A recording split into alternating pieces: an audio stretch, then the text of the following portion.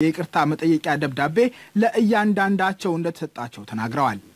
ትላንት ስምንት ሰዓት ላይ ቢሮ በማረሚያ ቤት ኃላፊዎች በዛ ጉዳይ የተከሰሱ አራቱም ልጆች ተጠርቶ አንድ ገጽ ወረቀት ነው የተሰጣቸው ለእያንዳንዳቸው በስማቸው የተጻፈ ወረቀት አርስቱ ይቅርታ ስለመጠየቅ ይላል። በጥፋታችን መሰረት ተፈርዶብን እስር ላይ ስላለን ተጸጽተን ጥፋታችንን አምነን ይቅርታ ጠይቀናል፣ ፈርመናል የሚል ነው ይዘቱ። እነሱ ደግሞ ሁለት ሺህ ስድስት ቀን ነው እስከዛሬ ድረስ የታሰር ነው። ያጠፋነው ነገርም የለም፣ የምንጠይቀውም ይቅርታ የለም። መንግስት ነው ያለ ጥፋታችን አስሮ ያቆየን። አሁንም መንግስት ከለቀቀን ውጡ ካለን እንወጣለን። ከዛ ውጭ የምንፈርመው ነገር የለም ብሎ ባለመግባባታቸው ሳይፈርሙ ወደ አዳራሽ ተመልሰዋል። ከአራቱ የሙስሊም መፍትሄ አፈላላጊ ኮሚቴ አባላት በተጨማሪ በሌሎች ጉዳዮች ተከሰው በእስር ላይ የሚገኙ ሌሎች 55 ሰዎች የይቅርታ መጠየቂያ ደብዳቤ እንዲፈርሙ በማረሚያ ቤት አስተዳዳሪዎች እንደቀረበላቸው መስማታቸውንም መሐመድ አሚን ጀበል ተናግረዋል።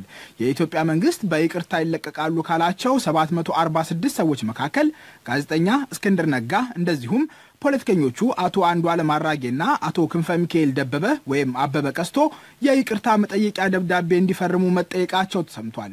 እስክንድር ነጋ፣ አንዱዓለም አራጌና ክንፈ ሚካኤል ደበበ በኢትዮጵያ መንግስት ሽብርተኛ ተብሎ የተፈረጀው የግንቦት ሰባት አባል ነበርኩኝ ብለው እንዲፈርሙ ሁለት ጊዜ መጠየቃቸውን የጋዜጠኛ እስክንድር ነጋ ባለቤት ወይዘሮ ሰርካለም ፋሲል ለዶይቸ ቨለ ተናግረዋል። መንግስት በመገናኛ ብዙኃን በይቅርታ ፈታቸዋለሁ ብሎ የእነ እስክንድርን አንዱዓለምን ሌሎችን ስሞች ጠቅሶ ነበረ። ያንን ተከትሎ እነ እስክንድር በቢሮ በኩል ተጠርተው ተጠይቀው ነበር። የተጠየቁትም አንድ ፎርም ነው የተሰጣቸው። ይህንን ፎርም ሞልታችሁ ንጹህ ፎርሙ የግንቦት ሰባት አባል ነኝ ነበርኩኝ እና ይቅርታ የሚል ነው። ያንን አናደርግም ብለው ሳይስማሙ ተመልሰው መግባታቸውን ለማረጋገጥ ችያለሁ። ለመጀመሪያ ጊዜ ጠይቀዋቸው እምቢ ካሏቸው በኋላ በድጋሚም በዛሬው ዕለት እንዳነጋገሯቸው ከዛው አካባቢ ከምንጮች ለማወቅ ችያለሁ። ተመሳሳይ ምላሽ ነው ያገኙት ከእነ እስክንድርም በኩል። ለጋዜጠኞች መብት የሚሟገተው ሲፒጄ እና የጸሐፊያን ማህበር የሆነው ፔን ኢንተርናሽናል በጉዳዩ ላይ የኢትዮጵያ መንግስት ተችተዋል። የኢትዮጵያ መንግስት አቅርቦታል የተባለውን ጥያቄ አሳዛኝ ያሉት የሲፒጄ የፕሮግራም አስተባባሪ አንጌላ ኩይንታል የኢትዮጵያ መንግስት ባለስልጣናት ያለምንም ቅድመ ሁኔታ እስክንድርን ይፍታ ሲሉ ጥሪ አቅርበዋል።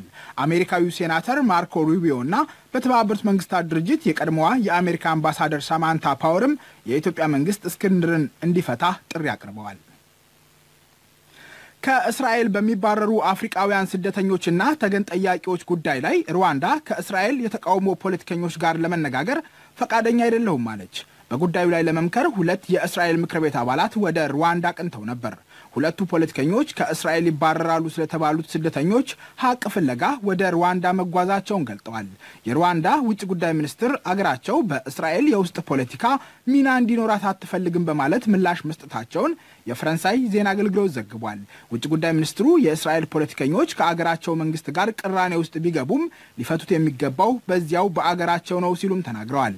አብዛኞቹ ኤርትራውያንና ሱዳናውያን የሆኑ ስደተኞች ወደ ትውልድ አገራቸው ቢመለሱ አደጋ ሊገጥማቸው አደጋ ሊገጥማቸው አሊያም እስራት ሊጠብቃቸው ስለሚችል እስራኤል ስሙ ወዳልተጠቀሰ አገር ልትልካቸው ወስናለች። የእርዳታ ሰራተኞች ስደተኞቹ የሚላኩት ወደ ሩዋንዳ አሊያም ዩጋንዳ ሳይሆን አይቀርም የሚል እምነት አላቸው። ሩዋንዳም ሆነች እስራኤል በስደተኞቹ ጉዳይ ላይ የፈጸሙት ምስጢራዊ ስምምነት አለመኖሩን ገልጸዋል። ከ2013 እስከ 2017 ዓ ም ባሉት ዓመታት አራት ሺህ ገደማ ስደተኞች ከእስራኤል ወደ ሩዋንዳ መላካቸውን የተባበሩት መንግስታት የስደተኞች መርጃ ድርጅት ገልጿል። የደቡብ አፍሪቃው ገዢ ፓርቲ የአፍሪቃ ብሔራዊ ኮንግረስ በፕሬዝዳንት ጃኮብ ዙማ ዕጣ ፈንታ ላይ የአገሪቱ ዜጎች እንዲታገሱ ጥሪ አቀረበ። በሙስና ተጨማልቀዋል እየተባሉ የሚወቀሱት ዙማ ስልጣናቸውን በገዛ ፈቃዳቸው እንዲለቁ ጫና በርትቶባቸዋል። በፕሬዝዳንቱና በስልጣናቸው ጉዳዮች ላይ ያተኮሩ ድርድሮች በሚስጥር በመካሄድ ላይ ናቸው። የአፍሪቃ ብሔራዊ ኮንግረስ ሊቀመንበር ግዌዴ ማንታሼ የፓርቲው ፕሬዝዳንት የጀመሩትን ውይይት እስኪጨርሱ ጊዜ ሊሰጣቸው ይገባል ሲሉ ተናግረዋል። የድርድሩ መዘግየትና ምስጢራዊነት በተቃዋሚዎች ዘንድ የከፋ ትችት ተሰንዝሮበታል። የአፍሪቃ ብሔራዊ ኮንግረስ ፕሬዝዳንት ሲሪል ራማፖሳ በጉዳዩ ላይ በነገው ዕለት ንግግር ያደርጋሉ ተብሎ ይጠበቃል። ግዌዴ ማንታሼ ፓርቲው የገጠመውን የተቀባይነት እጦት ሊቀለብስ እንደሚገባም ተናግረዋል። ምንም ጥፋት አልፈጸምኩም በሚሉት ጃኮብ ዙማ ላይ ከዚህ ቀደም የቀረቡባቸው የሙስና ክሶች እንደገና ሊጀመሩ ይችላሉ። ዊሊያም ጉሜዴ የተባሉ ተንታኝ ዙማ በፍቃዳቸው ስልጣን የመልቀቅም ሆነ የቀረቡባቸው ክሶች እንደገና መታየት እንዲጀምሩ ፍላጎት እንደሌላቸው ተናግረዋል። ተንታኙ እንደሚሉት ዙማ ያለመከሰስ መብት እየፈለጉ ሳይሆን አይቀርም። ይህ ዶይቸ ቨለ ነው።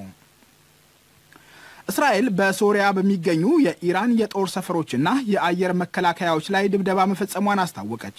የሶሪያ ጦር በበኩሉ ኤፍ 16 የተባለ የእስራኤል ተዋጊ የጦር ጀት መቶ መጣሉን ገልጿል። በሶሪያ የጦር መሳሪያ የተመታው ተዋጊ የጦር ጀት በእስራኤል ግዛት ውስጥ መውደቁን የአገሪቱ ጦር አስታውቋል። የእስራኤል ጦር የእስራኤል ጦር ጀቱ ወደ ሶሪያ የአየር ክልል የዘለቀ የሰው አልባ አውሮፕላን የአገሪቱን የአየር ክልል ጥሶ በመግባቱ ነው ብሏል። የሶሪያ የዜና አገልግሎት ሳና የአገሪቱ ጦር ለእስራኤል ጠብጫሪነት በጸረ አውሮፕላን የጦር መሳሪያ ምላሽ መስጠቱን ዘግቧል። የዜና ወኪሉ ከአንድ በላይ የእስራኤል አውሮፕላን ተመቷል ሲልም አክሏል። እስራኤል ግን የተመታው አንድ የጦር ጄት ብቻ ነው ስትል አስተባብላለች። በሁለቱ ሀገሮች መካከል የተፈጠረው ፍጥጫ እንዳይከር አስግቷል። የሩሲያ ውጭ ጉዳይ መስሪያ ቤት ሁለቱ ሀገሮች ሁኔታውን ከማባባስ እንዲቆጠቡ ጥሪ አቅርቧል። የሰሜን ኮሪያው መሪ ኪም ጆንግ ኡን የደቡብ ኮሪያውን ፕሬዝዳንት ወደ ፒዮንግያንግ ጋበዙ። የሰሜን ኮሪያው መሪ ግብዣ ለፕሬዝዳንት ሙን ጄኢን ያቀረቡት የኪም ጆንግ ኡን እህት ዮ ጆንግ ናቸው። የደቡብ ኮሪያው ፕሬዝዳንት ወደ ሰሜን ለመጓዝ የያዙት እቅድ ለጊዜው አለመኖሩን አሶሽትድ ፕሬስ ዘግቧል። ፕሬዝዳንቱ ባመቻቸው ጊዜ ሰሜን ኮሪያን እንዲጎበኙ መጋበዛቸውን የዜና ወኪሉ ጨምሮ ዘግቧል። ፕሬዝዳንት ሙን ሰሜንና ደቡብ ኮሪያ ውይይት ለማድረግ የሚረዳቸውን ሁለትዮሽ ግንኙነት አጠናክረው እንዲቀጥሉ ጥሪ ማቅረባቸውን ቃል አቀባያቸው ተናግረዋል። ሁለቱ ሀገራት ቅርበት ሲፈጥሩ ከአስር ዓመታት በኋላ ይህ የመጀመሪያው መሆኑ ነው። ይህ ዶይቸ ቨለ ነው። ዜናውን ከማብቃታችን በፊት ዋና ዋናዎቹን በድጋሚ በእስር ላይ የሚገኙት የሙስሊም መፍትሄ አፈላላጊ ኮሚቴ አራት አባላት የይቅርታ መጠየቂያ ደብዳቤ እንዲፈርሙ ተጠይቀዋል ተባለ። ከሰባት እስከ 22 ዓመታት እስር ተበይኖባቸው በማረሚያ ቤት የሚገኙት አህመዲን ጀበል፣ ካሊድ ኢብራሂም፣ አህመድ ሙስጠፋና መሐመድ አባተ ያጠፋነው ነገር የለም በማለት ሳይፈርሙ መቅረታቸውን ቤተሰቦቻቸው ተናግረዋል። ጋዜጠኛ እስክንድር ነጋ፣ ፖለቲከኞቹ አንዱዓለም አራጌና ክንፈ ሚካኤል ደበበ በኢትዮጵያ መንግስት ሽብርተኛ ተብሎ የተፈረጀው የግንቦት ሰባት አባል ነበርኩኝ ብለው እንዲፈርሙ ሁለት ጊዜ መጠየቃቸውም ተሰምቷል። ከእስራኤል በሚባረሩ አፍሪቃውያን ስደተኞችና ተገን ጠያቂዎች ጉዳይ ላይ ሩዋንዳ ከእስራኤል የተቃውሞ ፖለቲከኞች ጋር ለመነጋገር ፈቃደኛ አይደለሁም አለች። በጉዳዩ ላይ ለመምከር ሁለት የእስራኤል ምክር ቤት አባላት ወደ ሩዋንዳ አቅንተው ነበር። የደቡብ አፍሪቃው ገዢ ፓርቲ የአፍሪቃ ብሔራዊ ኮንግረስ በፕሬዝዳንት ጃኮብ ዙማ ዕጣ ፈንታ ላይ የአገሪቱ ዜጎች እንዲታገሱ ጥሪ አቀረበ። እስራኤል በሶሪያ በሚገኙ የኢራን የጦር ሰፈሮችና የአየር መከላከያዎች ላይ ድብደባ መፈጸሟን አስታወቀች። የሶሪያ ጦር በበኩሉ ኤፍ 16 የተባለ ተዋጊ የጦር ጄት መቶ መጣሉን ገልጿል። የሰሜን ኮሪያው መሪ ኪም ጆንግ ኡን የደቡብ ኮሪያውን ፕሬዝዳንት ወደ ፒዮንግያንግ ጋበዙ። ወጣቱ መሪ ግብዣውን ያቀረቡት በእህታቸው በኩል ነው። ዜናው በዚሁ አበቃ። ጤና ይስጥልኝ።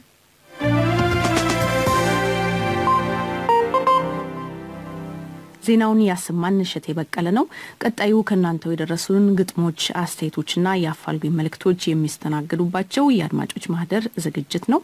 ደብዳቤ ልትጽፉልን ለምትፈልጉ አድማጮች አድራሻችን ዶችቬለ Amharic Service 53 110 ቦን ጀርመኒ ወይም ዶችቬለ የአማርኛው ቋንቋ ክፍል የመልእክት ሳጥን ቁጥር 5676 አዲስ አበባ ኢትዮጵያ ወይም ዶችቨለ የመልእክት ሳጥን ቁጥር 6586 አስመራ ኤርትራ ብላችሁ ጻፉልን። በዋትሳፕ መልእክት ልትልኩልን ከፈለጋችሁ ደግሞ ወቅታዊው ቁጥራችን 0049 157 92 36 16 05 ነው። የአድማጮች ማህደር የተከበራችሁ የአድማጮች ማህደር ዝግጅት ተከታታዮች የዛሬውን ዝግጅት የምንጀምረው በግጥም ነው። የግጥሙ ጸሐፊ መቶ አለቃ ውቤ ታሪኩ ናቸው ከሀረር። ወይ ፈተና ይላል ርዕሱ። እሸቴ በቀለ ያነበዋል።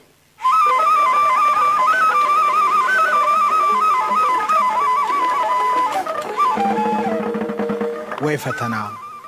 አይነ ደረቅ የማታፍር የልዩነት ደቀ መዝሙር ሰማይ ምድሩን የምትጭር ቂም በቀልን የምትቆልል የምትከምር ሽቅብ ሽቅብ እንደ ፌቆ የምትነጥር የጉድ አገር የጉድ አምባ ያፈጠጠች አይነ ደረቅ አይነ ሌባ በጨው ታጥባ ተኳኩላ ተቀንድባ ትታያለች ደምቃ ፈክታ መስላ አበባ። ፈልታ ፈልታ ገንፍላለች ሽቅብ ሽቅብ ትዘላለች አብሮነትን ትገድላለች ታመክናለች ልዩነትን የተካነች አያድርስ ነው። ዛሬ ደግሞ ጉድ አርግዛ ጉድ ወለደች የማትበስል ብትጠበስ ቢቀቅሏት ብትወጠር እንደ ጅማት ብትወቀር ብትነገር የማይገባት አምላክ ከላይ መርገም ታርጎ የፈጠራት አጠቅመንም መነቃቅረን ወዲያን ጣላት።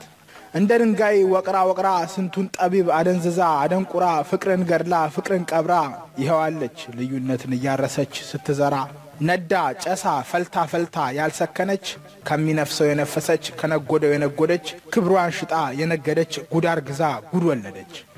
እውቀት የላት አትዘምር በበገና ክህነት የላት ወይ ድቁና የምትቧርቅ ዝም ብላ በደፈና ለዚህ ትውልድ የተላከች ለፈተና።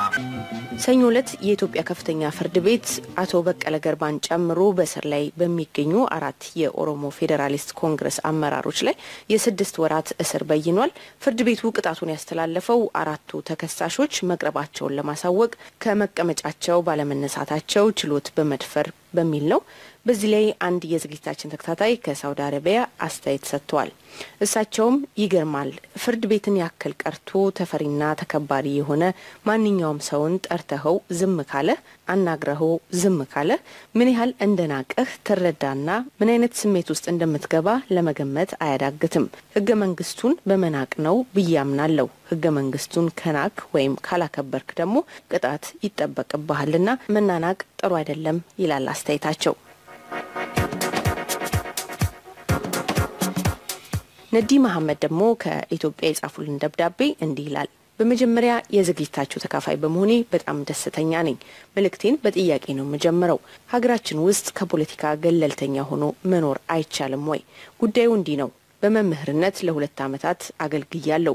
በ2007 ዓ ም ምርጫ ላይ የመንግስት ደጋፊ ባለመሆኔ ብቻ ከስራዬ ተፈናቀያለሁ። በዲግሪ መርሃ ግብር ገጠር ውስጥ ውሃ በሌለበት ኩሬ ውሃ እየጠጣሁ እንዲሁም መብራት በሌለበት ለሁለት ዓመታት አገልግዬ ከስራዬ አፈናቀሉኝ። ስራዬን ቢያስጥሉኝም በዓላማዬ ጸንቼ ስራ ባጣም ኑሮዬን እየገፋው እገኛለሁ። እኔን ለየት የሚያደርገኝ ማስመሰልና መዋሸት ስለማልችል ብቻ ነው። ስለዚህ ወንድሞቼ የኔ አይነት ገጠመኝ የገጠማችሁ ታገሱ። አንድ ቀን ገለልተኛ ሆነን የምንኖርበት ጊዜ ይመጣል ይላሉ ነዲ አህመድ።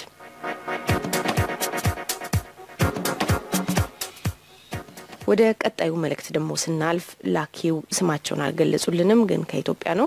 ዶችቬሎች የአማራ ክልል ያወጣው የሰዎች ሞትና የቆሰሉ ወገኖች የንብረት ውድመት በምንም መልኩ ተቀባይነት የለውም። ገዳዮችና ጨፍጫፊዎች ለሕግ ሳይቀርቡ ኃላፊነት ሳይወስዱ ያልተሟላ መግለጫ ተቀባይነት የለውም። በህዝብ ደም መሳለቅ ነው ይላል መልእክቱ።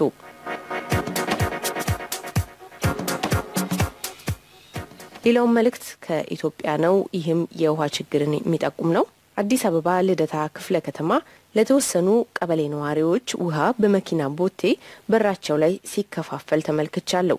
የአዲስ አበባ ነዋሪዎች የቧንቧ ውሃ በሶስት ቀን አንዴ በድቅድቅ ሌሊት ለነዋሪዎቿ የሚለቀቅላቸው መሆኑ የሚታወቅ ነው። መንግስት ይህን ያደረገው የአዲስ አበባ ሕዝብ በውሃ መጥፋት ምክንያት ህዝባዊ ተቃውሞ ያደርግብኛል ብሎ በመፍራቱ ይመስላል ይላል መልእክቱ።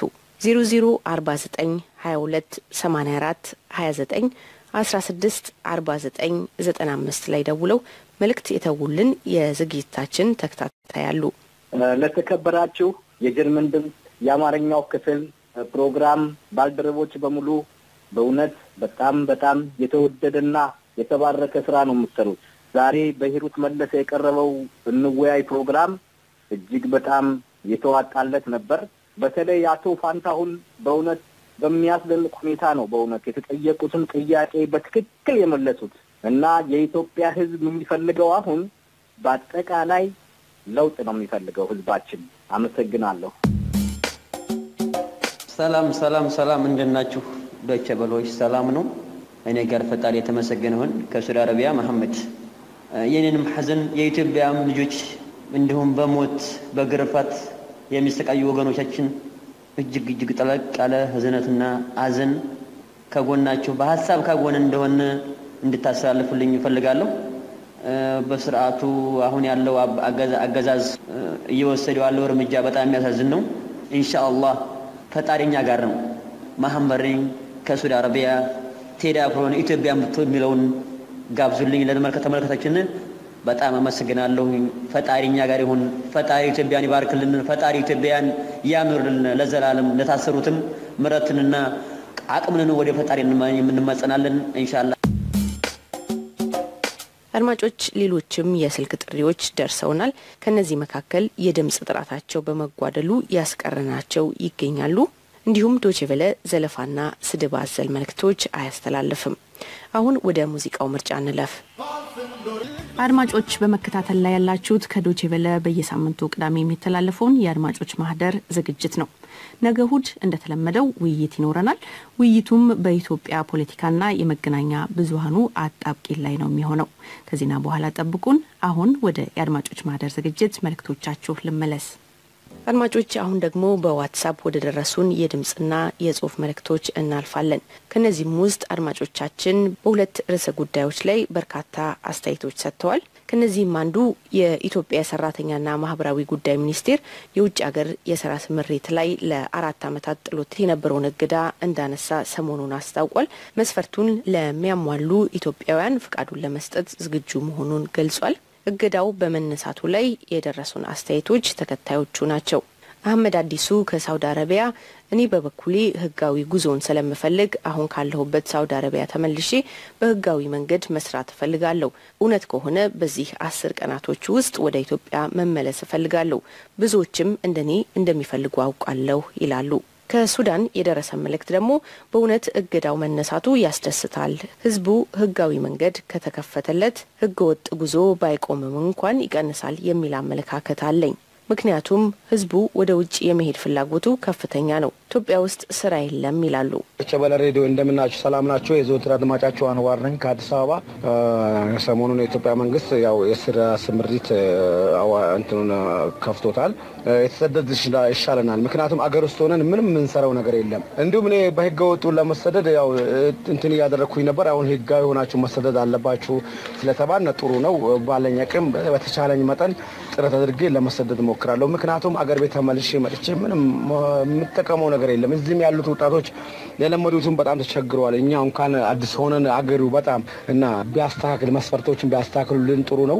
ለደላሎች መጠቀሚያ እንዳንሆን መስፈርቱ ቢስተካከል የተሻለ ይመስለኛል። ተሰደን የሆነች ነገር ይዘን መምጣቱ የተሻለ ይመስለኛል። እኔ ከስደት ተመላሽ ሆኜ አገሬ ላይ ኖሮ ስለከበደኝ ያው ተመልሼ የሆነች ነገር ያ ነገር እዛ የነበርኩበት ትምህርት ስለሆነኝ በዛኛው የሆነች ነገር ይዤ ለመምጣት ጥረት አደርጋለሁኝ ይላለሁኝ። በህጋዊ ብንሄድ የተሻለ ይመስለኛል። ሙሉጌታ የተባሉት አድማጫችን ደግሞ ከጂዛን ከተማ ሳውዲ አረቢያ መንግስት አስፈላጊውን ሁሉ አሟልተው እንዲጓዙ እድሉን ከፈቀደ ፍቃዱ ምንም ይሁን ምን ተገቢ ነው። ለስራ የሚሄዱ ዜጎች ደግሞ በቂ ዝግጅት አድርገው መሰማራት አለባቸው። በህገ ወጥ ስደት ህይወታቸውን ከሚያጡ ይልቅ በዝቅተኛ ደሞዝም ቢሆን በኮንትራት ስራ መሰማራት ተመራጭ ነው። ዛሬ በሀገራችን በየቤቱ ወጣቶች ስራ አጥ ሆነው ተቀምጠዋል። ስለዚህ ወጣ ብሎ መስራት እንደ አማራጭ እድሉን መጠቀም ወሳኝ ነው። በተለይ በባህር ወደ ሳውዲ አረቢያ የሚጎርፉ ሴቶቻችን ራሳቸውን ከአደጋ በመጠበቅ ይህንን ህጋዊ መንገድ እንዲጠቀሙ እመክራለሁ ይላሉ ሙሉጌታ። በመሰረቱ የውጭ ሀገራት የስራ ስምሪት በሀገር ውስጥ በቂ የሆነ የስራ እድል ባልተፈጠረበት ሁኔታ ቀድሞውኑም ቢሆን መዘጋቱ ተገቢ ነው የሚል አመለካከት የለኝም። እኔ አሁን ባለው ሁኔታ እገዳው መነሳቱም በጣም ተገቢና አስፈላጊ ነው ብዬ አስባለሁ። ከዚህ ባሻገር ግን መንግስት በውጭ ሀገራት ያሉትን የቤት ሰራተኞች ሊሆን ይችላል፣ በሌላ መልኩም በስራ ላይ ያሉ በተለይ የአረብ ሀገራትና መካከለኛው ምስራቅ ሀገራት ላይ ያሉ ዜጎቻችንን መብትና ጥቅሞች በተሻለ መልኩ ለማስጠበቅ መስራት ያለበት ይመስለኛል። በተለይም ኢትዮጵያውያን እንደምታውቁት ከሌሎች ሀገራት ዜጎች አንጻር ሲታይ ለምሳሌ ከኢንዶኔዥያ ሊሆን ይችላል፣ ፊሊፒኖች፣ ህንዶች አንጻር በጣም ዝቅተኛ ክፍያ ነው የሚከፈላቸው እና እነዛን ነገሮች at least እንዲስተካከሉ በኤምባሲዎች በኩልም የበኩሉን ጥረት ቢያደርግ የሚል ሀሳብ አለኝ። አመሰግናለሁ።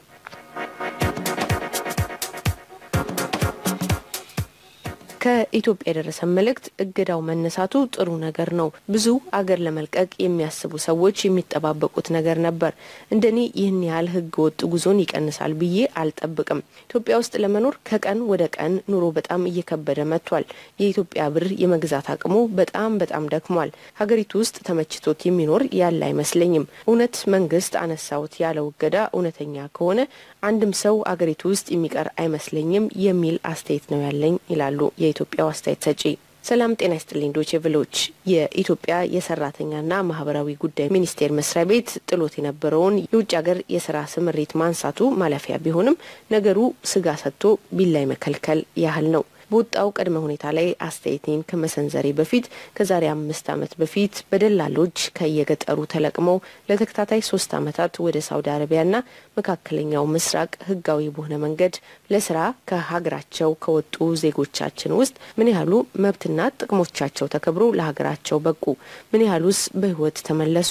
ምን ያህሉ ዜጋ ቤተሰቡ ሳያውቅ በረሃ ላይ ሲሳይ ሆኖ ቀረ? የሚሉትን ካየን ለዜጎች መብትና ጥቅም የሚቆም አቅም ያለው የሚከራ ከር ተቋም በሌለበት ዜጎችን ወደ ውጭ ሀገር ለስራ መላክ ተገቢነቱ አይታየኝም። ኃላፊነትና ተጠያቂነት በሌለበት ሁኔታ ጉዳዩን ለተጠቀሱት ኤጀንሲዎች ሰጥቶ ዜጎችን ውጭ ሀገር ለስራ ማሰማራት አደጋው ከአሁኑ በፊት ከተከሰተውና እየተከሰተ ካለው የከፋ ስለሚሆን ውሳኔው ብዙ ነገሮችን ያላገናዘበ ነው እላለሁ ይላሉ ስማቸው እንዲጠቀስ ያልፈለጉት የሳውዲ አረቢያው የዝግጅታችን ተከታታይ።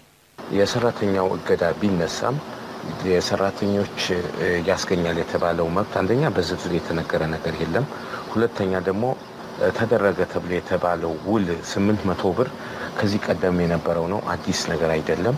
እንደገና ዛሬ በካለው የኑሮ ውድነት አንጻር ስምንት መቶ ብር በጣም ትንሽ በመሆኑ እዚህ ሲመጡ ሌሎች ከነሱ ጋር አብረዋቸው የሚሰሩት ኢንዶኔሲያ ወይም ሌላው ሀገር በሺ አምስት ከሚመጡት ጋር እኩል መስራት በጣም አነስተኛ ስለሆነ ክፍያው እንደገና ያው መጥፋታቸው አይቀርም። ህጋዊነት ሊኖር አይችልም። ያው ህገወጥነቱ ይቀጥላል ማለት ነው። ስለዚህ የኢትዮጵያ መንግስት ተዋልኩት ብሎ ያለው ውል ምንም አይነት ውል የሌለውና እንዲሁ ማስመሰያ የሚመስል መሆኑን ነው ልገልጽ የምወደው። ከዛ ውጭ ግን ውሉ በአሁኑ ሰዓት ኢትዮጵያ ውስጥ ያለው የስራ አጥነት ስፋት አንጻር አግባብ ነው ላለሁኝ። የሰራተኞቹ መብት ግን የሚያስጠብቅ ውል አለመዋሉ ያሳዝናል። ከኢትዮጵያ የደረሰ መልእክት ደግሞ አለ። እውነት ለመናገር ህገ ወጥ ስደት ለስራ ብቻ አይደለም የሚካሄደው። ዛሬ ዛሬ በሀገራችን ላይ የምናየው የፖለቲካ ትኩሳትና ያልተመጣጠነ የኃይል እርምጃም ጭምር ነው። ዛሬ ኢትዮጵያ ውስጥ ገንዘብ ያለውም የሌለውም የተማረም ያልተማረም ታዳጊውም አዛውንቱም ለስደት ልቡ ሸፍቷል። ለዚህም ትልቁ ምክንያት የኑሮ ውድነት ነው። በተለይ በአዲስ አበባ የቤት ክራይ በወር ከምናገኘው ደሞዝ በላይ ነው። ዛሬ ሻይ መጠጣት ለልጆች የቅንጦት ሆኗል። ምክንያቱም ስኳር የለም፣ ቢገኝ እንኳን ውድ ነው። እዚህ ሀገር ርካሽ ነገር የመንግስት ብሔራዊ መገናኛ ብዙኃን ብቻ ነው። እኔም ተምሬ ግን ተማርሬ ለመኖር ተገድቻለሁ። ብቻ አንድ ቀን በህጋዊ ይሁን በህገ ወጥ መንገድ መሰደድ አይቀርም ሲሉ ስማቸውን ያልገለጹት ጸሐፊ አስተያየታቸውን ቀጥለዋል። ሌሎች በርካታ መልእክቶችም በዚህ ጉዳይ ላይ ደርሰውናል። ሁላችሁንም እናመሰግናለን። ወደ ሌላኛው በዚህ ሳምንት በርካታ አድማጮች አስተያየት ከሰጡበት ጉዳይ ከማለፋችን በፊት የዘፈን ምርጫ አለን። ከጅዳ አርአያ መሀመድ ናቸው። እሳቸውም የስደት ኑሮ ሰለቸኝ አልሞላልኝ አለ። ሀያ ሁለት ዓመት ልጆቼን እህት ወንድሞቼን ለማየት አልታደልኩም። አገርም ይናፍቃል እና የማዲንጎን ሙዚቃ ለቤተሰቦች፣ ለልጆች፣ ለአባ ጊዮርጊስ ህዝብ ጋብዞልኝ ብለዋል። ሁላችሁም ተጋብዞላቸው። ወደ መልእክት ወይም አስተያየታችሁ ስንመለስ ሌላው በርካታ ሰዎች አስተያየት የሰጡበት ሙስናን በተመለከተ ነው። ያላቸውንም ተሞክሮ አካፍለውናል። ኢትዮጵያ ውስጥ ወጣቱ ሙስናን እንዴት መዋጋት ይችላል ለሚለው ጥያቄም መፍትሄ የሚሉትን ገልጸውልናል። አዳፍር ከአዲስ አበባ አዎ፣ ስለ ሙስና ያለኝ ተሞክሮ በተለይ እንደኛ ሀገር ሰው ሁሉ ነገሮችን ሊያስፈጽም ሲመጣ ሙስና መክፈል እንዳለበት ያስባል። ጉዳዩን የመፈጸም ኃላፊነት ያለበትም ቀጠሮ በማብዛትና ተገልጋዩን በማንገላታት ሙስና መቀበል እየተለመደ መጥቷል። ይህም ወደ እኔ መስሪያ ቤት የሚመጡ ጉዳያቸውን ለማስፈጸም መጀመሪያ ሙስና መክፈል ወይም ዘመድ አዝማድ ያፈላልጋሉ። እንደየሁኔታው ይፈትኑኛል። እኔ ግን መብታቸውና ግዴታቸውን በማስረዳት መጠቀም ያለባቸውን እንዲጠቀሙ አግባብ ያልሆነውን በማስረዳት እንደማይሆን አስረዳለሁ። ታዲያ ሙስና መዋጋት የሚቻለው የባህሪ ለውጥ በማምጣት ነው ይላሉ አዳፈር። ቀጣዩ መልእክት ከኢትዮጵያ ነው። አብዱል ሀፊዝ እባላለሁ። እድሜ 33 ነው። ሙስና በአፍሪቃ የጦር ካምፑን የገነባው በኢትዮጵያ ነው ባይ ምክንያቱም ዛሬ አብዛኞቹ የሀገሪቱ ትምህርት ቤት መምህራን ለተማሪዎቹ ጥሩ ትምህርት ከማስተማር ይልቅ በገንዘብ ዲግሪ እየቸረቸሩ የሕክምና ማዕከላት ባለሙያዎች ተብለው ነጭ ጋውን ለብሰው የሚያውቁትን ወይም አለባበሱ ያማረ ካልሆነ በስተቀር የማያክሙ ሌላው ቀርቶ በፍርድ ቤቶች ዳኞች ፍትህን በገንዘብ እንደ ሸቀጥ ሲሸጡ እጅግ እጅግ በጣም ያሳዝናል። በአዲስ አበባ በየጎዳናው በረሃብና በቤንዚን ሽታ የሚቃጠለው ታዳጊን መመልከት የዕለት ከዕለት ተግባር ሆኗል። በእርግጥ ለሀገራቸው ፍቅር እንዳይኖራቸው ተደርገው ከሚያድጉ ታዳጊዎች እንዴት ሙስናን መዋጋት ይቻል ይሆን? ጥያቄ ነው። መልሱ ግን ጊዜና ጊዜ ብቻ ነው ምላሽ የሚሰጠው። ትውልድ ሙስና እየበላ ሙስናም ትውልድን እየበላ ይቀጥላል። መፍትሄው ግን ፍትሐዊ የሀብት ክፍፍል፣ የህግ የበላይነት እንጂ የዘር ወይም የጎሳ የበላይነት የማይነገርበት አካባቢና ክልል ሲኖር ዛሬ እዚህና እዚያ የምንሰማውና የምናየውን ያበጠና ያኮረፈ ወጣት ትውልድ በፍቅር ወደ ልማት መመለስ ይቻላል ይላሉ አብዱል ሀፊዝ። እኔ ማስተላለፍ እንፈልገው አጠር ያለች አስተያየት ነው። በአሁኑ ሰዓት በሙስና ተጨመላልቆና ተንሰራፍቶ ያለው በኢትዮጵያ መንግስት እንጂ በወጣት ላይ ሙስና ሊኖርም አይችልም የለምም። ምክንያቱም ወጣቱ በአሁኑ ሰዓት ስራ አጥቶ በአረብ ሀገራት በረሃ እየተሰቃየ ብዙ መከራ እያየ ያለው ወጣቱ ትውልድ ነው። ምክንያቱም ስለ ሙስና ብትጠይቁት ምንም ሊያውቅ አይችልም ማለት ነው። አሁን ወጣቱ ትውልድ እያለ ያለው የኢትዮጵያ መንግስት ድህነትንም ሙስናንም አልቀነሰም ይቀየርልን እያለ ነው ጥያቄ እያቀረበ ያለው። ሙስናው ከዛ በኋላ ነው። አዲስ ትውልድ ከተቀየረ በኋላ ሙስናው በኋላ ሙስናን እንደሚዋጋ ይዋጋል አዲስ ትውልድ ማለት ነው። መጠየቅ ተቻላችሁ የኢትዮጵያ መንግስትን ድህነትንም ሙስናንም እንዴት ነው መዋጋት የምትችለው ብላችሁ ለኢትዮጵያ መንግስት ብታቀርቡለት ይህን ጥያቄ የተሻለ ይመስለኛል። ምክንያቱም ወጣቱ ትውልድ በአሁኑ ሰዓት እንኳን ሙስና ለመዋጋት ቀርቶ ከእጅ ወዳፍ የሚጎርሰው ያጣበት ላይ ነው የደረሰው ማለት ነው እና እየተገደልም እየተደበደበም ወደ እስር ቤት እየተጋዘነ ያለው ወጣት ትውልድ ማለት ነው። አመሰግናለሁ።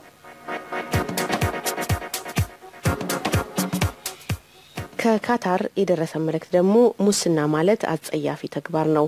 ለምሳሌ በእኛ በሙስሊሞች ገንዘብ የሚሆን ሌላም ነገር ይህን አረግልሃለሁ ይህን አርግልኝ ካለው ትልቅ ወንጀል ነው። የሚያደርገውን ሁሉ ላላህ ብሎ ብቻ ነው ማድረግ ያለበት እና ሙስናን በተቻለ መጠን እንዋጋለን፣ በየአካባቢያችን እናጋልጣለን። ግን መንግስት ከሙስና ይጸዳል ማለት የማይሆን ነገር ነው ይላሉ አድማጮች። በመጨረሻም የአፋልጉኝ ማስታወቂያ አለን።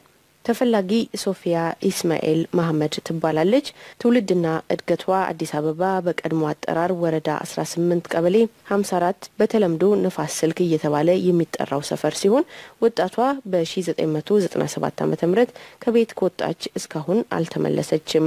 ወጣት ሶፊያ ኢስማኤል መሐመድ አዲስ አበባ ውስጥ ለቡ እየተባለ የሚጠራ አካባቢ መታየቷን ጥቆማ ደርሶን አካባቢውን ብናስስም እህታችንን ለማግኘት ያደረግነው ጥረት እስካሁን ሳይሳካ ካለን አመታት ተቆጠሩ። ወጣት ሶፊያ ኢስማኤል መሐመድ ያለችበትን ቦታ ለጠቆመን ወረታውን እንከፍላለን ይላሉ ፈላጊዎች ወንድምና እህቶች ናቸው። ከአዲስ አበባ ስልክ ቁጥር 0973 05 36 73 ወይም 09 29 35 01 28 ነው። እንግዲህ ለዛሬ ተራ የደረሳቸው የአድማጮች አስተያየቶች እስካሁኑ ነበሩ። ጻፉልን፣ ደውሉልን። አሁን ወደ ትኩረት በአፍሪቃ ዝግጅት እናልፋለን። መቀመጫውን ኢጣሊያ ያደረገው የቅዱስ ኢጊዲዮ ማህበረሰብ ማህበር እስካሁን ድረስ ከአንድ ሺህ በላይ ስደተኞችን በህጋዊ መንገድ ኢጣሊያ እንዲገቡ ረድቷል።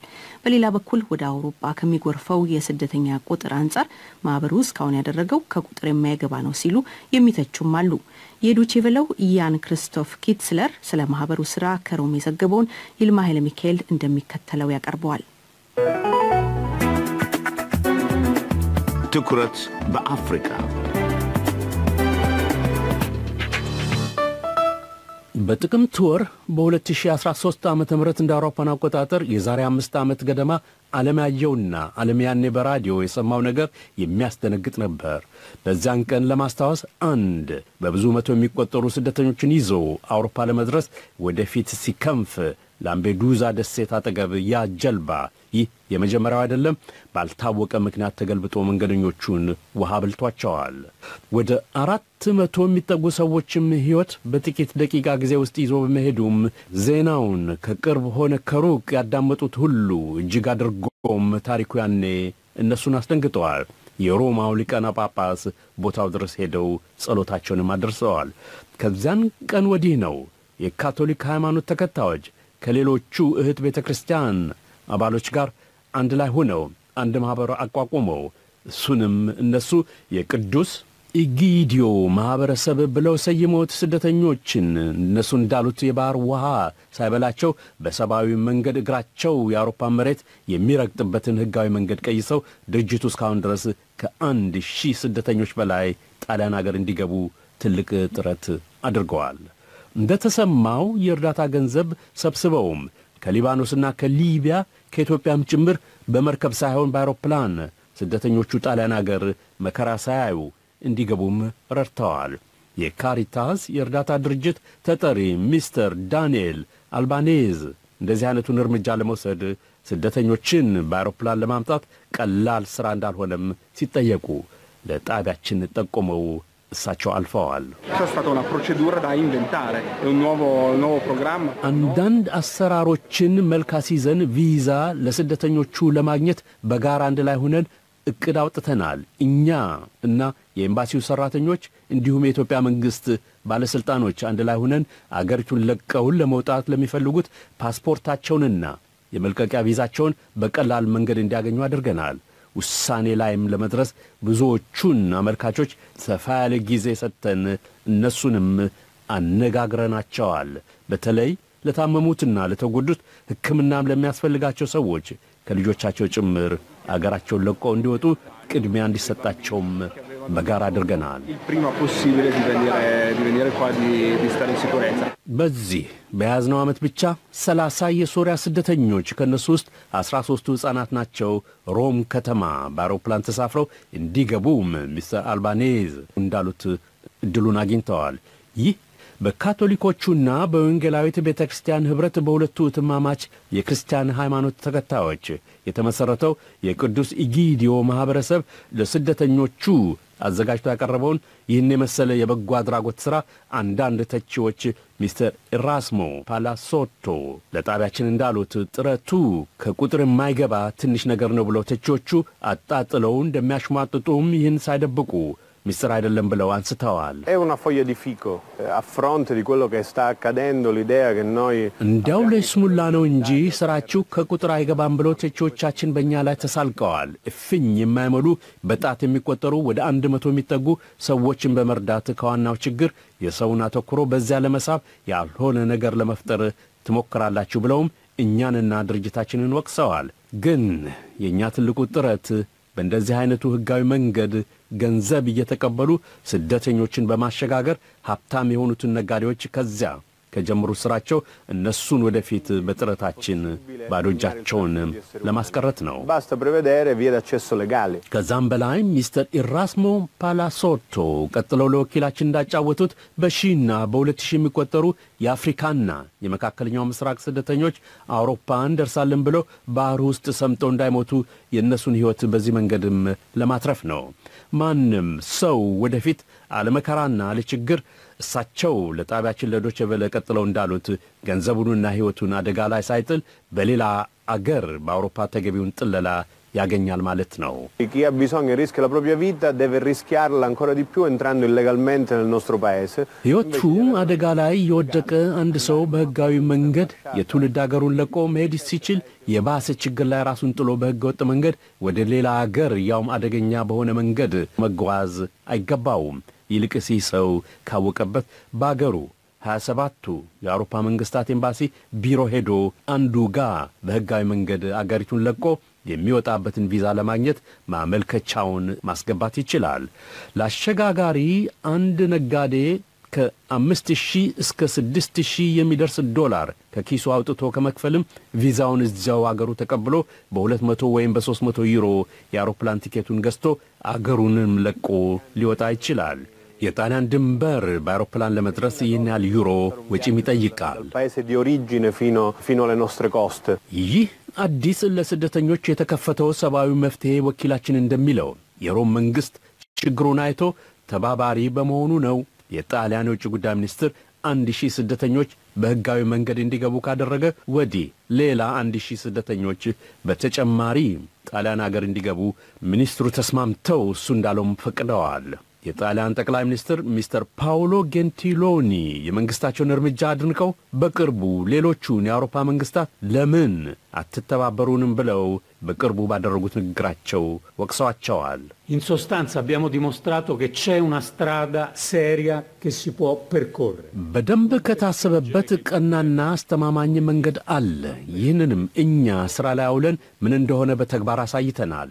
ችግሩ አለ ተብሎ እንዲያው በቸልተኛነት ዝም ብሎ ማለፍ አስፈላጊ ሥራ አይደለም። ይኸው አካሄዳችን ለሕዝባችንም ደህንነት ጥሩ ነው። ስለዚህ በጀመርነው መንገድ እንቀጥልበታለን። ይህም በእኔ እምነት ሁሉም የሚደግፈው እርምጃም መሆን አለበት ብለው የጣሊያኑ ጠቅላይ ሚኒስትር የአውሮፓን መንግሥታት ተችተዋል። እንደዚህ ዐይነቱ አሰራርም ዘጋቢያችን አከታትሎ ወረድ ብሎ እንደ ጻፈው ስደተኞቹን ወደፊት በሕጋዊ መንገድ ወደ አውሮፓ እንዲገቡ ስለሚረዳ በሁሉም አባል አገሮች ዘንድ ተቀባይነት ወደፊት ይኖረዋል። ወይዘሮ ማሪያ ኩዊንቶ የቅዱስ ኢጊዶ ማኅበረሰብ ተጠሪ በሕጋዊ መንገድ ስደተኞችን ወደ አውሮፓ ለማምጣት የጀመሩትን ሥራ በበለጠ ድካም እንደሚቀጥሉበት ሲጠየቁ እሳቸው መልሳቸውን ለጣቢያችን አሰምተዋል። e.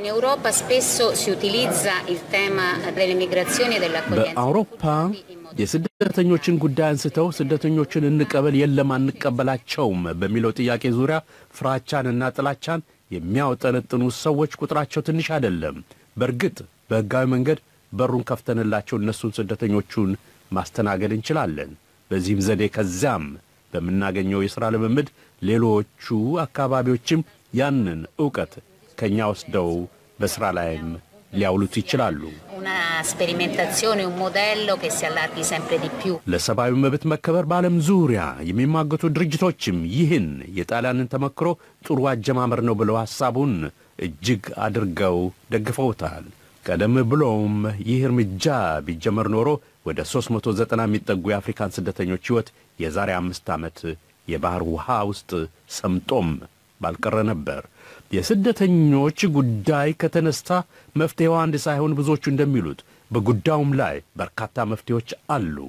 በሚሊዮን የሚቆጠሩ ሰዎች አገራቸውን ለቀው እንዳይወጡ የችግሩን ምንጭ እነሱ እንደሚሉት እዚያው ፈልጎ እዚያው ማድረቅም በሚሊዮን የሚቆጠሩ የአፍሪካ ወጣቶች አገራቸውን ለቀው እንዳይወጡም ይረዳል። አድማጮች የምትከታተሉት ከጀርመን ቦን ከተማ ዘውትር ቅዳሜ የሚተላለፈውን የዶቼ ቬለ ሬዲዮ ትኩረት በአፍሪቃ ዝግጅት ነው። ስርጭታችን ይቀጥላል። አሁን ሙዚቃን ጋብዝ። ማማዬ እያለ ድምፃዊ ታምራት ደስታ የተጫወተው ነው። አሁን ከምሽቱ አንድ ሰዓት ከ50 ደቂቃ ሆኗል። ቀጣዩ በአፍሪቃ ርዕሰ ጉዳዮች ላይ የሚያተኩረው የጋዜጦች አምድ ነው። ይህንንም ይልማ ኃይለ ሚካኤል ነው ያጠናቀረው።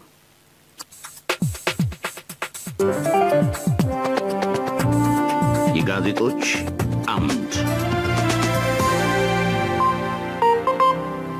ዘ ኢንዲፔንደንት የተባለው የታላቋ ብሪታንያ ዕለታዊ ጋዜጣ ሰሞኑን ባወጣው አምዱ ላይ ሲሰሙት ለማመን የሚያስቸግር ደግሞ እውነተኛ የሆነ በጥናት ምርምር የተደገፈ አንድ ግሩም ታሪክ ጋዜጣው አስፍሮ ጥቁሩንም ነጩንም አንባቢ ሕዝብ እንዲገረሙበትም አድርገዋል። ከአስር ሺህ ዓመት በፊት የብሪታንያ ደሴት ረግጦ እዚያ መንደር የቆረቆረው የመጀመሪያው ሰው ቆዳው የጠቆረ ጸጉሩ የከረደደ ጥቁር አፍሪካዊ ነው። ስለዚህ የሁላችንም ምንጭ አፍሪካ ነው የሚለውን ታሪክ ዘ ኢንዲፔንደንት አስታውሶ ሰፋ ባለ ዘገባው ስለዚህ ሰው አጽም ተመራማሪዎቹ ያቀረቡትን የጥናት ውጤት ከሌሎቹ ጋዜጣዎች ጋር አብሮ አምዱ ላይ እንድንመለከተው አስፍረዋል። ከአፍሪካ ተነስተው በመካከለኛ ምስራቅ አድርገው አውሮፓን ስለወረሩት የሰው ልጆች ታሪክ ጸሐፊው አትቶ የሁሉም መነሻ ምንጭ ከአንድ ቦታ ከትንሽ የሰው ልጆች ዘር ነው ብሎ ዘ ኢንዲፔንደንት ከአንባቢዎቹ በዚህ አረፍተ ነገር ለጊዜው ተሰናብተዋል። ሌሎቹ የአውሮፓና የሰሜን አሜሪካን ዕለታዊ ጋዜጣዎች እዚያው አፍሪካ ውስጥ ሕዝባቸውን በአሁኑ ሰዓት በጦርነትና በረሃብ በሥልጣን መባለግና በሙስና ከሥልጣንም አንወርድም በሚለው ድርቅና እነሱ እንዳሉት ሕዝባቸውን እዚያ በአሁኑ ሰዓት ፍዳ በሚያሳዩት በታወቁት መሪዎቻቸው ላይ አተኩረው በእነሱ ላይ ብዙ ቀለማቸውን ሰሞኑን እንደተለመደው አፍሰዋል። በደቡብ አፍሪካው ፕሬዝዳንት በያኮብ ዙማና በኮንጎ በዮሴፍ ካቢላም ላይ አንዳንዶቹ ጋዜጠኞቹ አተኩረው ለነገ የማይባል ትችታቸውን በእነሱ ላይ ለቀዋል። ሌሎቹ በኬንያ ፕሬዝዳንት በኡሁሩ ኬንያታና በተቀናቃኛቸው በኦዲንጋ ላይ ዐይናቸውን ጥለው አገሪቱን ይዘው ሁለቱ መሪዎች ገደል ሊከቷት ነው የሚለውን ስጋታቸውን ቅጠሎቻቸው ላይ አስፍረዋል። የፈረንሳዩ ዕለታዊ ጋዜጣ ለሞንድ ከሱም ጋር የስዊሱ ኖይ ሱሪሸ ሳይቱንግና የአሜሪካኑ ዋሽንግተን ፖስት በፕሬዝዳንት ዙማ ላይ ሦስቱም ጋዜጣዎች አተኩረው የግዛት ዘመናቸው ተቃርቧል የሚለውን ትንተናቸውን ለአንባቢዎቻቸው እንዲያውቁት አቅርበዋል። ኖይ ሱሪሸ ሳይቱንግና የጀርመኑ ዕለታዊ ጋዜጣ ፍራንክፉርት አልገማነ ሳይቱንግ ሁለቱም ተቀባብለው እንደ ጻፉት በሚቀጥሉት ቅርብ ቀናት ፕሬዚዳንቱን ኤኤንሲ ድርጅቱ አባሮ በሌላ ሰው እንደሚተካም እነሱ ጽፈዋል። የኢኮኖሚ ጠበብቱ ሚስተር ሲሪል ራማፎዛ ዙማን በቅርቡ ይተካሉ ብለውም ግምታቸውን ጸሐፊዎቹ ቅጠሎቻቸው ላይ አስፍረዋል። ሌላው ጋዜጣ ሃንድልስ ብላት የሚባለው የጀርመኑ ዕለታዊ ጋዜጣ በኬፕ ታውን በደቡብ አፍሪካ የሚጠጣ ንጹሕ ውሃ እንደጠፋም በተራው ዘግበዋል። የጣሊያኑ ዕለታዊ ጋዜጣዎች ደግሞ በሰላሳ ጥይት መንገድ ላይ ስለተደበደቡት ቆስለው አሁን ሐኪም ቤት ስለተኙት ስድስት የአፍሪካ ስደተኞች ጽፈዋል። የጀርመኑ ዕለታዊ ጋዜጣዎች በተራቸው ደግሞ ከእስራኤል ስለሚባረሩት የአፍሪካ ስደተኞች ጉዳይም እነሱ ሰሞኑን መጻፉ መርጠዋል። ራሳቸው በናዚ ዘመን ስደተኛ የነበሩት እስራኤሎች በስደተኞች ላይ አሁን መጨከናቸው አንዳንድ ጸሐፊዎችን ነገሩ እዚህ አስገርመዋል። የቃጠሎ ምድጃ እንደገና ተቀጣጠለ በሚለው አርስቱ ስር እዚህ በርሊን ከተማ በየቀኑ እየታተመ የሚወጣው ዕለታዊ ጋዜጣ ዲ ታገስ ሳይቱንግ በበኩሉ በኮንጎ እንደገና ቦግ ስላለው የእርስ በርስ ጦርነት ጸሐፊው መቸክቸኩን መርጧል። የእንግሊዙ ፋይናንሻል ታይምስ በተራው ከአሜሪካኑ ዋሽንግተን ፖስት ጋር የፕሬዝዳንት ኬንያታ መንግሥት በኬንያ የቴሌቪዥን ጣቢያዎችን መዝጋትና የአገሪቱን ፖለቲከኞችን ማሰር አስገርሟቸው በእሱ ላይ ተመላልሰውበታል። በገንዘብ ሰጪዎቹ በምዕራቡ መንግሥታት ይህ ነገር ዝም ተብሎ መታለፍ የለበትም የሚለውን አስተያየታቸውንም አምዳቸው ላይ እነሱ አብረው እርምጃ እንዲወሰድ ጠይቀዋል። ኒውዮርክ ታይምስ በተራው በዚሁ ከቀጠለ አገሪቱን ኬንያን ሦስቱ መሪዎች ኬንያታና ኦዲንጋ እንዲሁም ሚስተር ዊልያም ሩቶ የጥፋት አፋፍ ላይ ያደርሷታል ብለው ሰው እንዲመለከተው ለቀዋል። ከካይሮ እስከ ኬፕ ታውን ከላይ እስከ ታች አፍሪካ ተንቀሳቅሰዋል። ይልማ ኃይለ ሚካኤል ዶቼ ቬለ ራዲዮ ጣቢያ ከበርሊን ከተማ። አድማጮች ስርጭታችን ከማብቃቱ በፊት አርዕስተ ዜናው አሁን ባጭሩ እንሆ። በእስር ላይ የሚገኙት የሙስሊም መፍትሄ አፈላላጊ ኮሚቴ አራት አባላት የይቅርታ መጠየቂያ ደብዳቤ እንዲፈርሙ ተጠየቁ።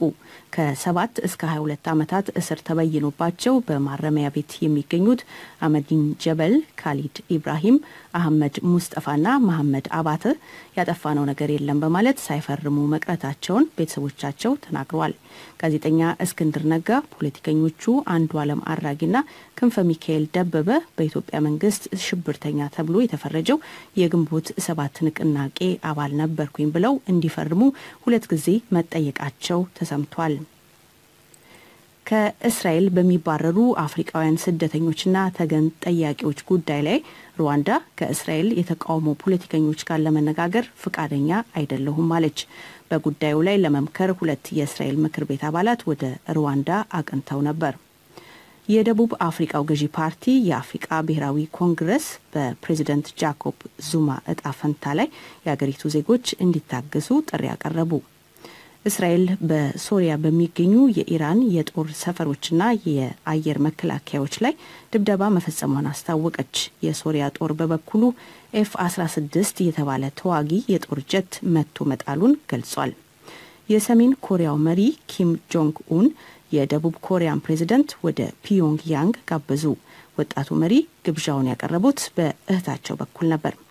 አድማጮች ስርጭታችን በዚሁ ይጠናቀቃል። ሙሉን ዝግጅት በድጋሚ መስማት ከፈለጋችሁ የፌስቡክ ገጻችንን ሳውንድ ክላውድንና ድረ ገጻችንን ጎብኙ። ልደት አበበ ነኝ። ጤና ይስጥልኝ። ተጨበለ ነገም በተለመደው ሰዓት እንደምትጠብቁት ተስፋ አደርጋል። ለዛሬው ደህና ሁኑ።